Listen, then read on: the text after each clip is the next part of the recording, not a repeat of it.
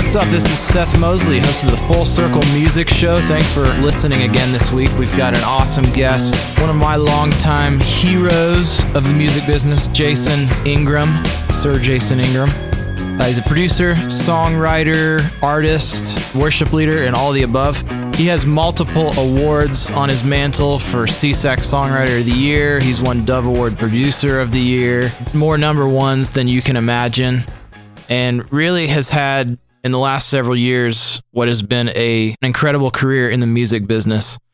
And today we get to sit down and hear the story before Jason Ingram is the Jason Ingram that we know now. That's half the reason why we do this show is to kind of shine a light on the blood, sweat, and tears that goes into making a successful career in the music business. And there's a lot of stuff that I learned in this episode about Jason. Some stories about how he got into it. And believe it or not, at one time he was touring as a merch manager for a band.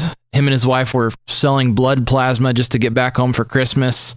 I'm telling you, there's some stuff that you don't know that goes into making a successful songwriting and producing career. So stick around.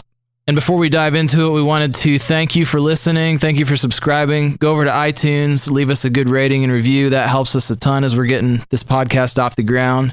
And for our next segment, Full Circle Music Trivia, the answer to last week's question What is the highest selling album of all time? Well, the answer for that is Michael Jackson Thriller. So, to one of you guys who emailed in to trivia at fullcirclemusic.org, you get a free copy of the book Hitman. And this week's question is Who is the top Grammy Award winner of all time? Again, who is the top Grammy Award winner of all time? Email your response into trivia at fullcirclemusic.org. And this week, the winner is going to take home All You Need to Know About the Music Business by Donald Passman, 8th edition. Up to date information on new music business models, including music streaming services and cloud lockers, the latest developments in digital rights, and updated numbers and statistics for the traditional industry. Again, email your responses into trivia at fullcirclemusic.org.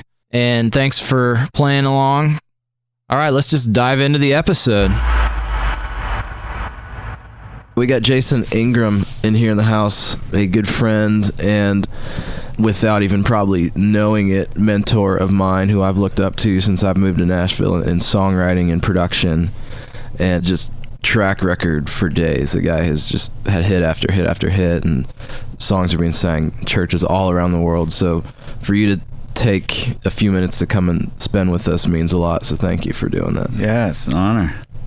So you want to carry us in? Yeah, man. One of the things I wanted to know from you, Jason, is like when did the songwriting bug hit you, or how long have you been doing it? Like, was it one of those things where just doodling in the notepad when you were six years old, or even earlier? Or? I started taking piano lessons in middle school, Mm-hmm. but I think I was a freshman in high school when I was introduced to just chord voicings. So up until then, I was just learning to read music and more classical sort of training and which I wasn't excelling at but I loved music Sure. and so I would just I stayed at it and then I think my freshman year in high school someone just taught me how to play chords and think about music as chords as opposed to just reading notes on a scale and I instantly started writing songs once I had chords I was a songwriter Yeah. not, not a very good one but from then on, yeah, I mean, I was writing songs. Did it start for you echoing what you were hearing on the radio and just putting chords to that, or was it truly like I don't care what's going on on the radio. I've got my own vision that I'm. Yeah, no, I was I was writing my own things, That's great. love songs for interest of mine, things like that. Yeah, yeah. Wow, that's great, man. So were you the guy with the guitar that got the girl because you had the guitar? You know, I, my wife, and then once I learned chords, I started leading worship as well. And Yeah. so my wife, we were on a little missions trip to Mexico. We were in, lived in California, and I was a graduating senior, and she was going into her junior year in high school. And we went down there, and I led worship at this thing that we were doing. And I didn't know her, but she saw me leading worship, and she knew. She told camp counselor that I was going to be her husband. and so, yeah, I think the guitar strumming. it helps, man. Absolutely. It helps make up for other things. the lack of confidence when it comes to actually talking face to face. Massive lack of confidence. Absolutely. Yeah. Yeah, man. Growing up in the church, there are so many stories that sound similar to Yeah. that. It's like going up to that youth pastor or whatever and pointing, like, "That's gonna be my guy." Yeah, right, right, right. Did you know at the time, or did you find that out later? I found that out later. We started sort of dating a bit after that, but Yeah. yeah, I f- I found that out later. And she's not that kind of person, and she was actually. I wasn't one of the popular kids, and she was, so I wouldn't have even like gone there. Yeah, she was out of your league. She was, still is. But yeah, I found that out later, and and I've just been writing songs out of a heart place, you know, ever since I first started writing songs. I think that's been one of the, hopefully, one of the things that people notice it when they hear songs I'm a part of. yeah, Yeah. And does that always come naturally to you to be able to express your heart on paper or in a recording? I guess it has. Yeah, I, guess it has. I've found music as the gift of which is hard to hold on to sometimes when you've been doing something for a while and it becomes your career. Yeah, But um, there was a lot of years where the only reason I had to write a song was just to get something out because there wasn't any career in it. right. And so I did that long enough that I think that's it's easy for me to sort of stay in that place. Yeah, yeah. I, I think one of the hallmarks of the songs that I know of yours, that I mean, from a perspective of they've got a story or they've got an intention to it, and it sounds like you were saying in those early days before anybody was paying you to write a song or asking you to go do something that it was because you had to get something out. And I, I feel like that there's a trend in at least pop music these days where there's not necessarily a story, it's just a feeling, it's a vibe that's going on. Do you find that you would have a harder time if you were, you know, if you needed to go write the next Justin Bieber song versus writing something that uh, is more of a, a heart pouring, so to speak? I will say, like a melody or a track or a vibe can bring out a lot of emotion. So since you mentioned Bieber, go down the Bieber trail. um, yeah, his most recent album is like to me, it's been the thing I've listened to the most this year. wow. Yeah. And so I just love it. Sure. I think the songwriting's amazing. I think the production is phenomenal, Yeah. and and it's emotional to me. So it feels like I feel like I can touch it. There is a lot of pop music that doesn't have that same sense to it. Yeah, yeah. Maybe Justin Bieber recently is not the best of those examples, but it has that pop sheen to it, Yeah. necessarily more than uh, an emotion. Well, and you're and what I'm kind of hearing you ask is is it those songs that are less about the lyric and more about just a vibe or Sure. something Mm, yeah, like that. yeah, yeah. Like Yeah, lyric is huge for me, especially in the the lane that God has me in. And I feel like in some regard a lot of pop music the the lyric is real secondary to whether or not it's a hit or not. right. And I think we're accountable to more I look at songs in this lane that God has called me to. I often call them life rafts for people. Hmm. And so if I'm throwing someone a life raft, if that's what God lets me do with my song, I want it to hold them up. And so our words often become people's prayers, yeah, you know, and that's phenomenal. Yeah. Martin Luther said, When I can't pray, I sing. And we're able to throw these life rafts to people a lot of times that, that don't even know what to pray and write the prayer that they need to re engage their heart Wow. with the Lord. And so that's a huge, I think, uh, a weight that we need to carry when we're considering do we have the words right? Yeah.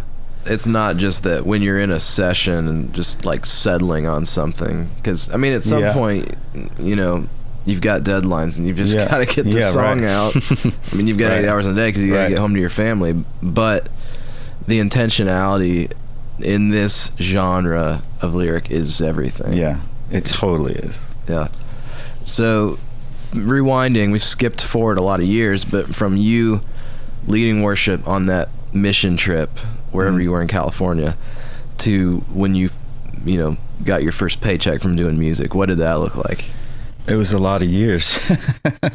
Um, I definitely took the long road. So I heard Christine Kane talk once on the distance between anointing and appointing. And it's different for all of us, but I really felt like God anointed me very specifically to write songs for his church as a teenager. The appointing was probably some 15 years later. Hmm. And so I went to Bible college. I became a worship pastor at a church in California, had a band, got a little bitty record deal, toured, sold four albums. it was off to an amazing start. All to your relatives. right, right. And then at, at some point, my wife and I felt nudged to move here, and so we did. But I didn't have a, a job or anything in music, and so my entry point into music, and I was working temp agency jobs, and I mean, it got pretty lean for us. There was a Christmas where we went to sell blood plasma to try to get home for Christmas. And, And- it, from going to Nashville to California. Uh-huh. Wow.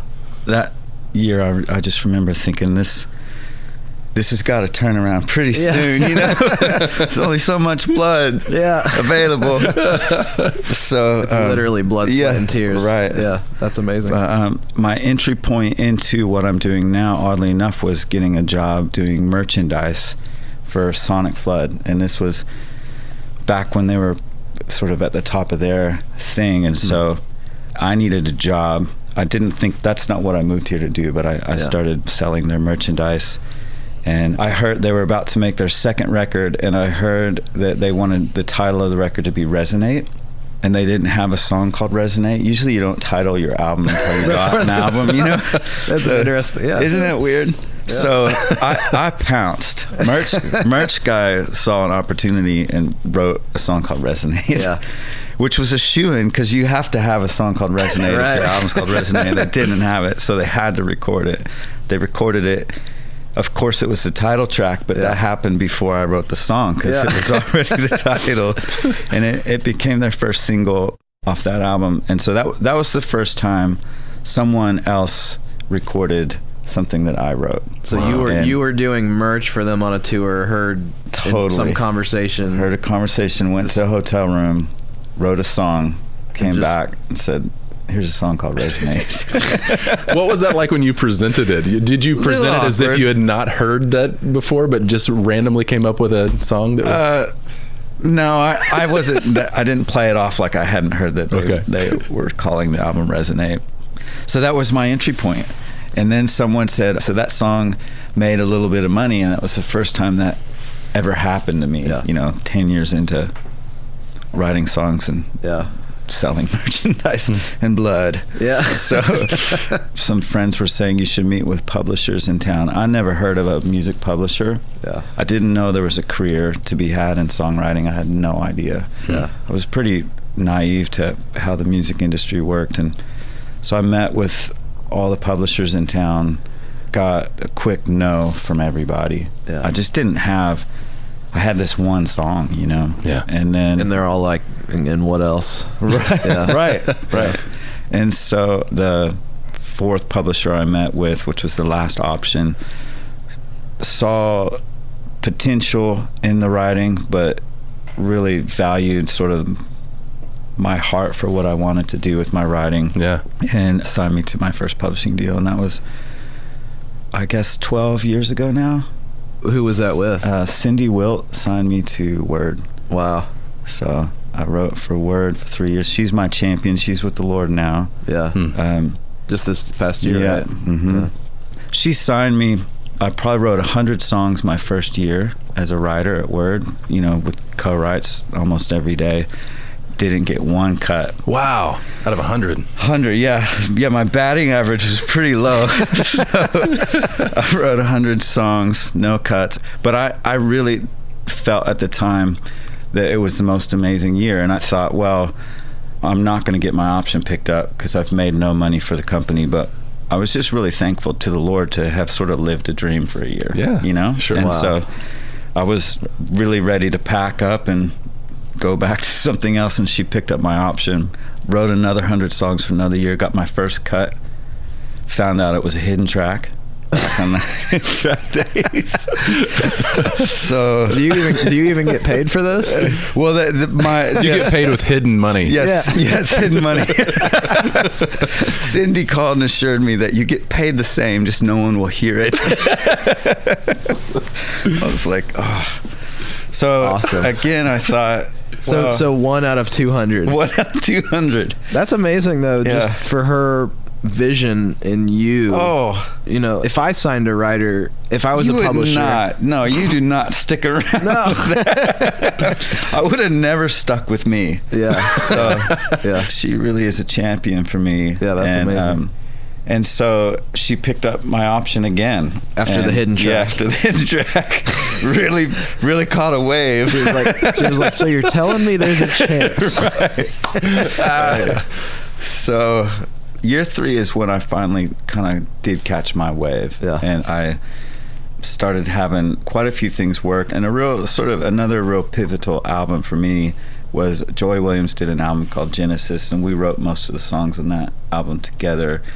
You And- enjoy, Mhm. Yeah. And it it didn't necessarily go on to be the biggest album, but everyone loved it yeah, yeah. you know so it was like all of our peers loved it and so all of a sudden doors started opening up and then i met a guy named bebo norman and we started writing songs for his album and i never produced anything yeah, and i was just doing demos and stuff with the songs we wrote and then i ended up producing that record for him called between the dreaming and coming true Was that just kind of like, hey, you had been doing these demos and they, Yeah. they loved what you were doing? Just Yeah. keep. Well, what actually happened is we had written, I think, almost all the songs for his album, just the two of us. Yeah. And he went to the producer that they had hired to produce the, Yeah. like the first couple of songs, and they just weren't thrilled with where they landed. And so, I think Bebo went and just said, "Hey, do you mind if, Yeah. if me and Jason go try it." try to?" Hit a couple. I think he asked if we could hit a couple, and Yeah. we recorded them all. so then I was a producer, you know, and that's when I really did sort of catch a wave. And in that season, you know, another thing, so I started having lots of songs getting recorded. I started producing a lot.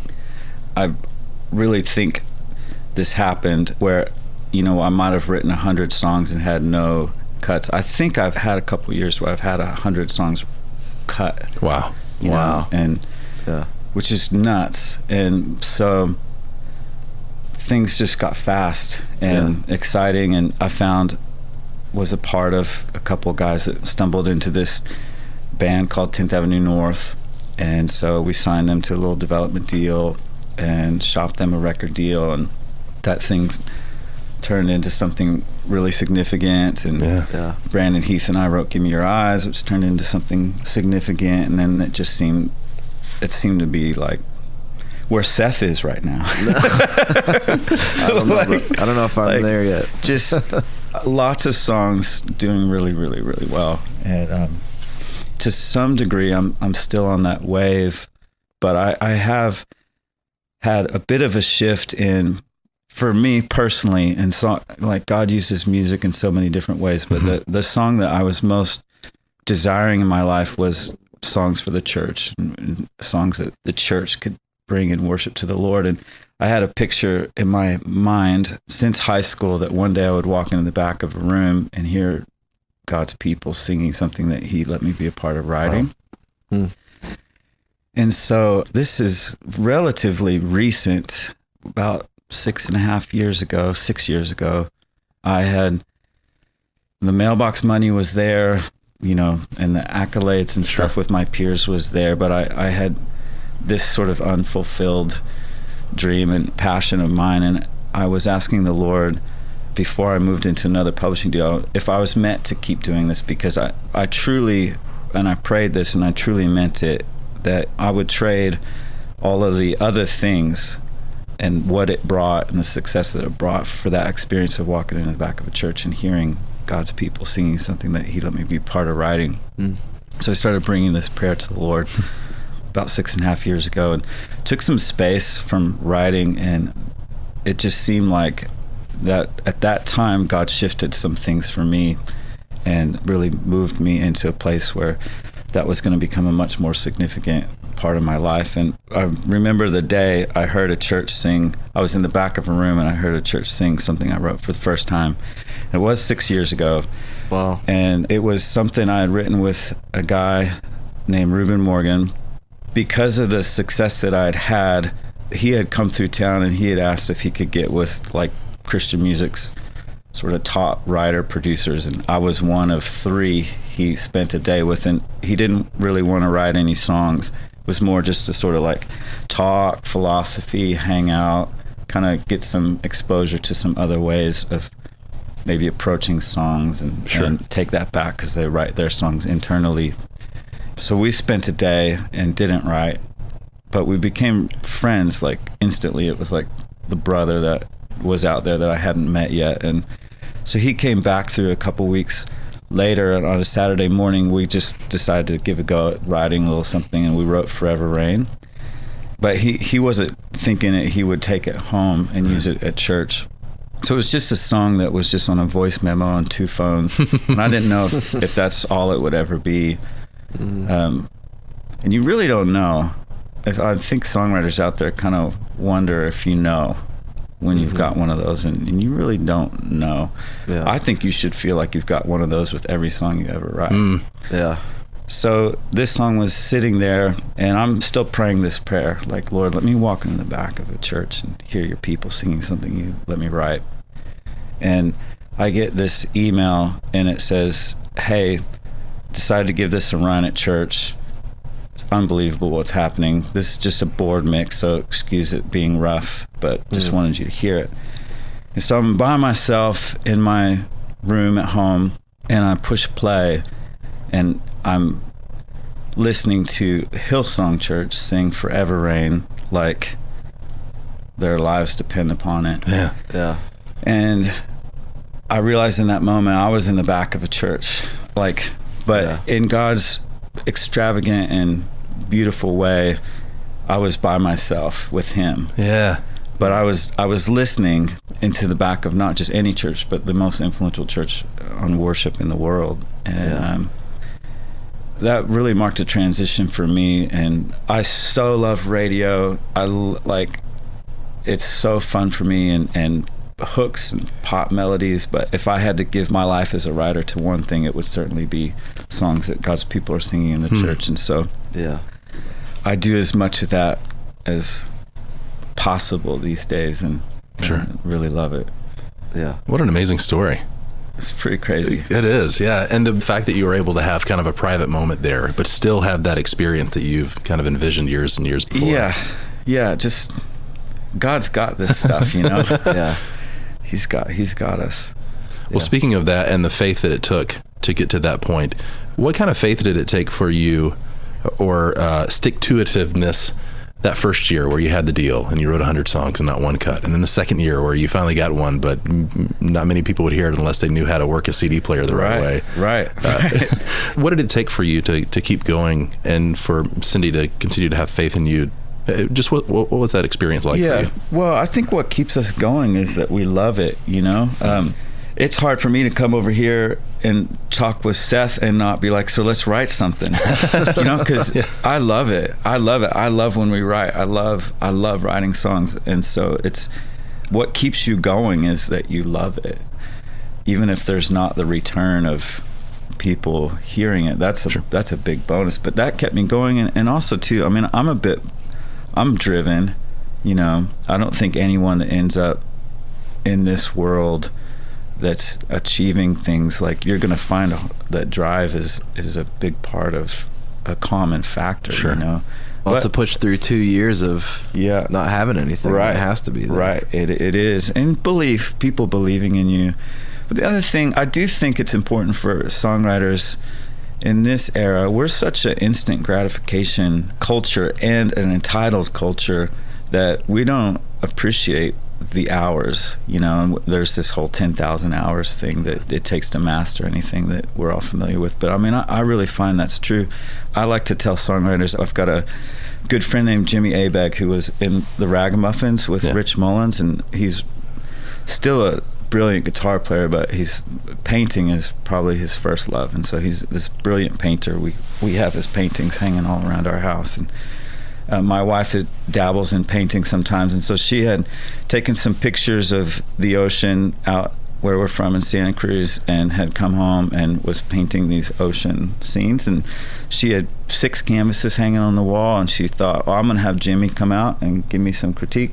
And I'm like, oh, that'd be amazing. Yeah. Yeah. Get critiqued by Jimmy Abegg. So Yeah. he comes out and he looks at her six paintings and he tells her so many, like, he just finds encouraging things to say about every inch of all six canvases. Wow. But then he says, okay, so you've got six, so go paint 94 more and then paint your first painting. Oh gosh. And I'm Wow. like, but that's like, what good advice, you know? I mean, we just, we always want to fast track to, Yeah. and songwriters might write, their first song might be a world changing song.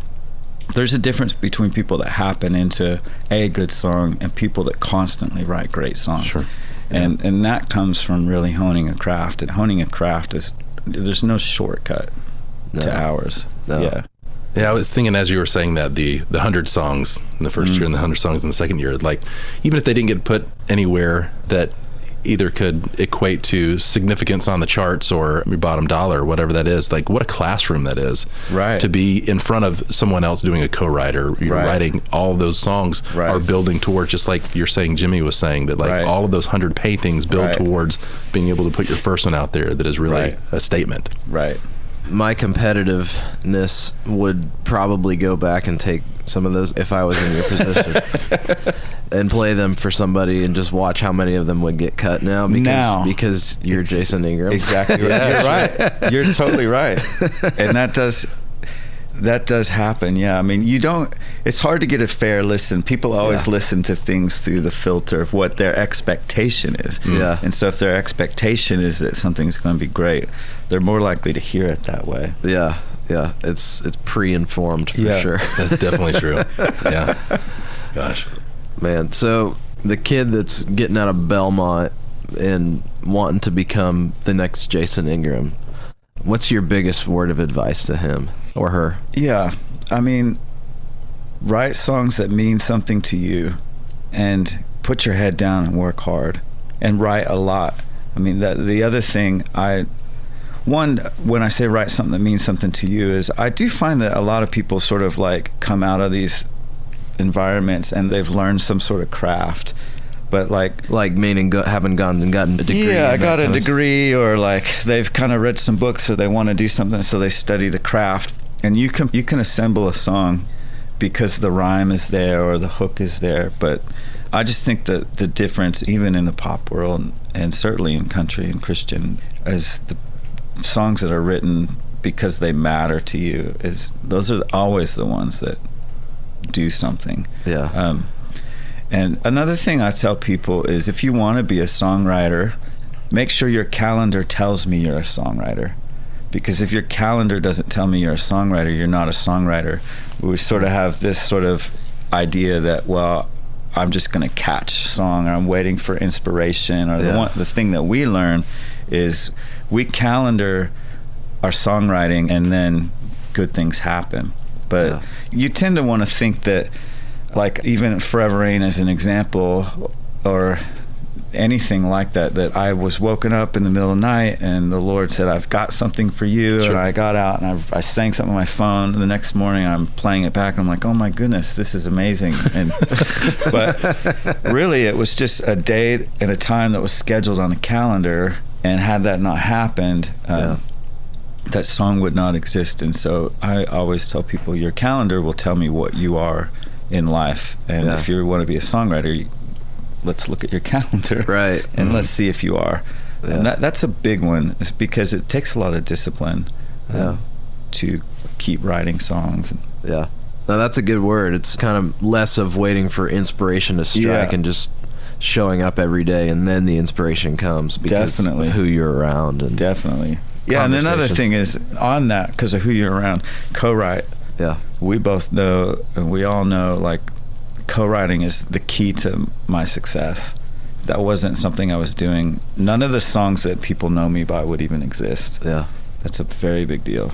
Do you sit down nowadays ever and just do anything by yourself anymore or is it just kind of like that's you don't do it that way anymore? I really don't. Every now and then, I think last year I wrote a song by myself. Yeah. I just, you know, was in a moment where I felt like I needed to express Yeah. something. But Yeah.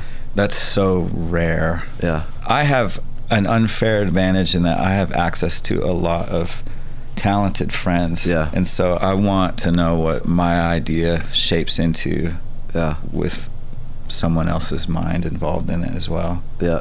Yeah. Was that a process for you in the early days when you say you sat in your room by yourself writing that song to being mostly known as a person who's an uh, amazing collaborator and co-writer?